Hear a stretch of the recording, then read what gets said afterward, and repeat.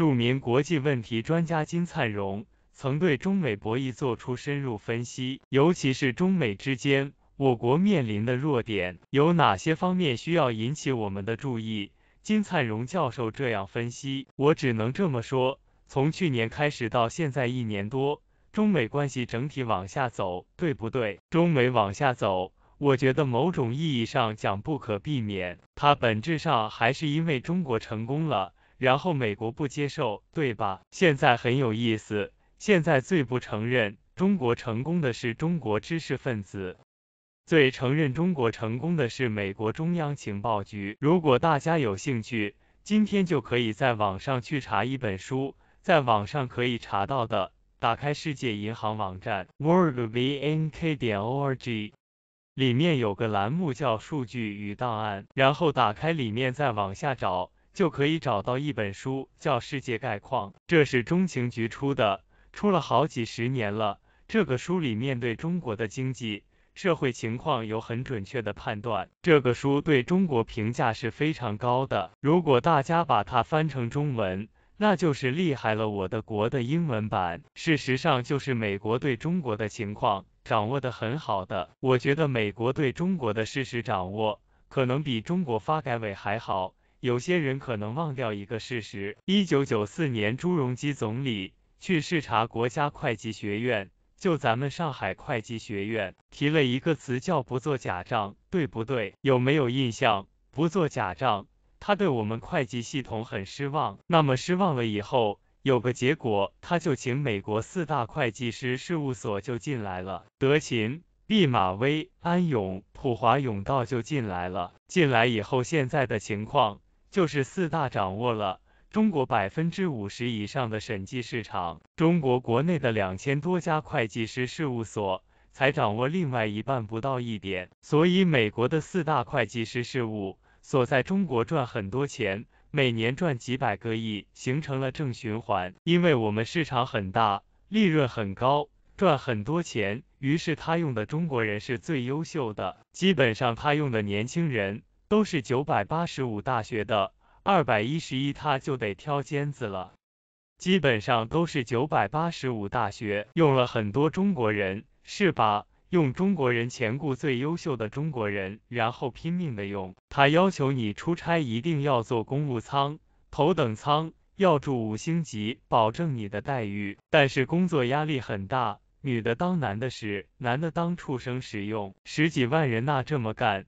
所以美国对中国经济信息的掌握绝对是最好的。相反，我们发改委并不是很了解，因为发改委就七百一十二个公务员，知道吧？这么大的国家发改委就七百一十二个公务员，网上有很多误解，说中国公务员世界上最多，这是胡说八道的。中国才七百零九万公务员，美国七百三十五万，比中国高多了。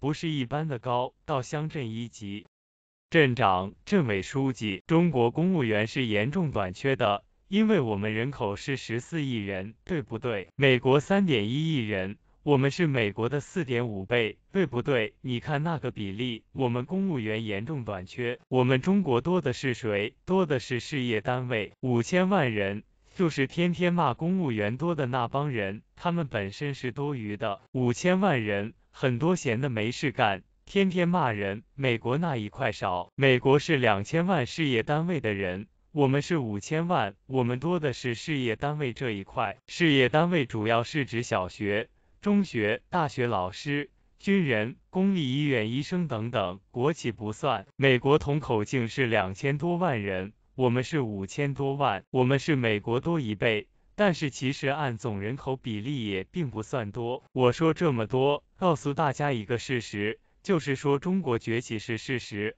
而且是美国人认，知道吧？美国的战略界特别认。那么既然美国认定你崛起，他就一定要采取动作来制止，因为国际关系有一个惯例，实际上就是一种事实，就是老大一定防范老二，这个是人性决定的。古代的大家族。长子长孙永远位置是很好的，是吧？爷爷奶奶喜欢的不得了，老二就玄乎了。以前我们有一句武汉老话，因为我武汉长大的，叫傻老大，贼老二。老大你傻乎乎的没关系，有爷爷奶奶宠着，老二得贼一点，否则吃亏，对不对？傻老大，贼老二，一般的公司也是这样的，二把手很难当，对不对？你二把手完全不干。不好意思，干的太多，你什么意思？只能稍微干点，意思意思，对不对？这是人性决定的，人性就决定老二位置不好当。那么国际关系也是这样，老大一定防范老二。美国有点例外，美国属于战略操作能力很好的一个国家，他整老二特别棒，因为一八九四年美国就 GDP 世界第一了，美国的实质。GDP 按照购买力评价是一八七二年，但是名义 GDP，大家公认的 GDP 世界第一是一八九四年。咱们中国甲午被日本痛揍一顿，挨打那一年，他们跑到第一去了。然后这个家伙第一就整老二，美国首先整的就是英国，因为他刚把英国超过。一八九五年，他制造了委内瑞拉危机。逼迫英国彻底退出整个拉美，把拉美交还给他。英国是他爹，他从英国独立的。英国是美国亲爹，他亲爹都整了，六亲不认，知道吧？好，整完英国就整德国，对不对？整完德国整苏联，整完苏联，第四个整的是日本，然后整完日本，整欧盟。现在我们中国是第六个老二。所以他肯定整我们，所以中美关系现在进入到一个不好的阶段，是结构决定的，不是主观意志决定的。某种意义上讲，我们就进入修昔底德陷阱了，因为老大防范老二，然后老二觉得受压抑，他们有天然矛盾。那么最早指出这个矛盾是古希腊末期的历史学家叫修昔底德，他写过一本书叫《伯罗奔尼撒战争史》。专门研究当时古希腊的老大斯巴达怎么跟当时的老二雅典打起来了，一打打半个世纪，把繁荣的希腊文明给摧毁了，导致北方的蛮族马其顿把他们彻底给占领了。他对此非常可惜，因为希腊很辉煌，马其顿很土的，在他们眼里，结果怎么这个土老帽把我们给占领了？他很郁闷，他就研究，研究的结果就写了这本书。叫伯罗奔尼撒战争史，基本上的结论是老大、老二这个矛盾很难化解。后来西方历史就不断的重演老大、老二矛盾的悲剧，大家就把这个现象叫做修昔底德陷阱。那么现在也有人开始用这个来形容中美关系，是吧？我个人认为我们已经在修昔底德陷阱里边了。有些人不同意，比较狭隘，他说必须中美打起来。